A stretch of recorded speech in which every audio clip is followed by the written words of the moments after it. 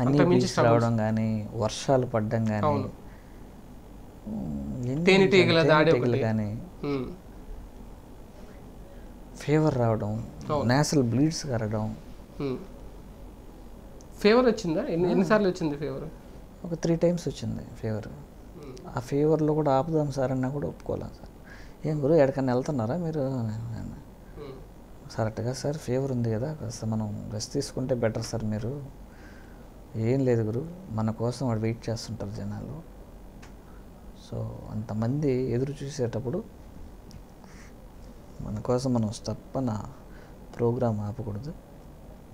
ఒక డోలో ట్యాబ్లెట్ జోబులో పెట్టుకొనిరా అవసరమైనప్పుడు వేసుకుందాం. అని చెప్పి అంటే అంత కమిట్మెంట్ ఉంది జనాల వైపు. ఆ కమిట్మెంట్ ఆ సంకల్పం ఆ లక్ష్యం చూసినప్పుడు మీకేమనిపించింది? అట్లా ఇన్స్పైర్ అవుదాం ఖచ్చితంగా ఇన్స్పైర్ అవుతారు ఎవరైనా. అంటే వైఎస్ రాజశేఖర రెడ్డి గారిలో అదే కమిట్మెంట్ అదే లక్ష్యం అదే ఇందులో కూడా మీరు చూసారా? యాజ్ కాపీ అందులో చూసాం కాబట్టే కదా. ఇప్పుడు నేను ఆయనకి ఒక భక్తుడని నేను డైరెక్ట్గా చెప్పుకుంటా నేను. నేను ఆయన సైనికుడని నేను చెప్పుకుంటా. ఎందుకంటే ఆయనలో ఉండే గొప్పతనం ఆయనలో ఉండే మంచి క్వాలిటీస్ని చూస్తేనే అలా ఎవరైనా చెప్పుకోగలుగుతారు చెప్పుకుంటారు. మీరు ఇసువంత అయినా జనాలకి ఎంతసేపు అయినా మంచి చేయాలని ఆలోచన చేస్తాడే కానీ ఏ రోజు కూడా చెడు తలంపు తలిచింది నేను ఉన్నంత వరకు నేను విన్నంత వరకు నేను వినలా.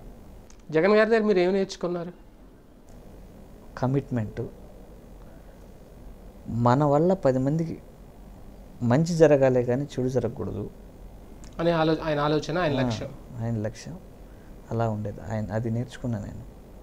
నెక్స్ట్ ఒక సమస్యని ఆయన ఏ విధంగా ఆలోచన చేస్తారు దాన్ని ఏ విధంగా సాల్వ్ చేసే విధంగా ఏ విధంగా సాల్వ్ చేస్తారని దగ్గరుండి చూశాను అంటే ఆ సమస్యకి పరిష్కారాలు ఏ విధంగా వేస్తారు మల్టిపుల్